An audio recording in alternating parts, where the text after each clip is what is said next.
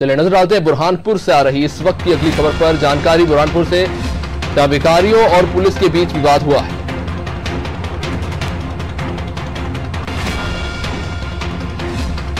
बुरहानपुर से इस वक्त की खबर आपको बता रहे हैं, भिखारियों और पुलिस के बीच जमकर झूमा चटकी हुई है और एक विवाद का वीडियो भी अनादि टीवी के पास आया है।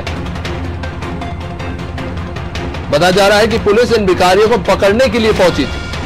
कोतवाली थाना क्षेत्र के इकबाल चौक की यह घटना है। भिखारियों को पकड़ने पहुँची पुलिस और भिखारियों के बीच अचानक से विवाद शुरू हो गया। ये तस्वीरें हैं बुरहानपुर की। बुरहानपुर के कोतवाली थाना क्षेत्र की एक्सक्लूसिव तस्वीरें आपको दिखा रहे हैं।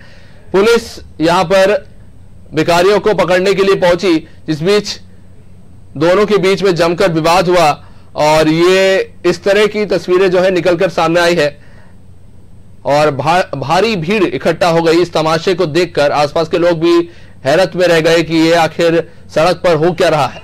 यहाँ पर आपको बता देते हैं बुरहानपुर के कोतवाली थाना क्षेत्र के इकबाल चौक की ये वीडियो है हम आपको दिखा रहे हैं जहाँ पर पुलिस भिकारियों को पकड़ने के लिए पहुँची थी और इसी बीच दोनों में झूमा झटकी शुरू हो गई।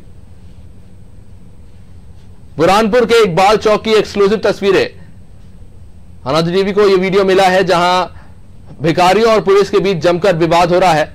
जो जानकारी मिली है, उसके अनुसार पुलिस भिखारियों को पकड़ने के लिए पहुँचे थे और इस बीच झूमा झटकी हुई, विवाद हुआ और मारपीट तक नौबत पहुँच गई और ये सबको देखकर स्थानीय लोग भी वहाँ भीड़ एकत्रित होकर तमाशाबीन बन गए।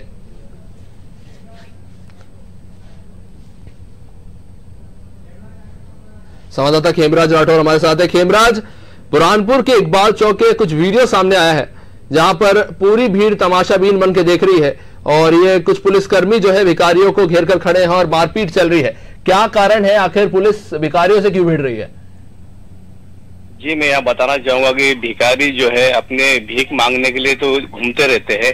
लेकिन कभी कभी लोगों को छेड़ने के कारण इतने वो बेकाबू हो जाते हैं कि लोगों को भला बुरा बोलने लगते हैं जिस कारण लोगों ने शिकायत की थी पुलिस थाने में और उनको उन्होंने कहा था कि इसको कंट्रोल किया जाए इस तरीके की ये बदतमीजी करता है भिखारी। तो इस कारण पुलिस वालों ने उसको घेरा जबकि भिखारी थोड़े मानसिक रूप से विक्षिप्त ऐसा लग रहा था जिस कारण भिखारी पुलिस से हाथापाई हो गई और वो ये नौबत आ गई।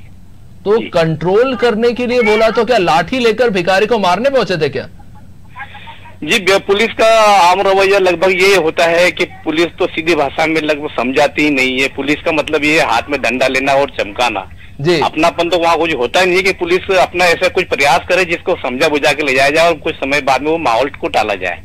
लेकिन लगभग अमूमन देखने में हर बार यही आता है कि पुलिस जो है अपने इतनी शक्ति पेश करती है कि जो हालात इस तरीके के बन जाते हैं। जी। जी, शुक्रिया खेमराज जानकारी देने के लिए। तो बुरहानपुर के इकबाल चौक की तस्वीरें हैं। कुछ लोगों ने भिखारी के खिलाफ शिकायत की थी कि ये भीख मांगते तो है ही, साथ में आम लोगों को आते जाते परेशान भी करते हैं।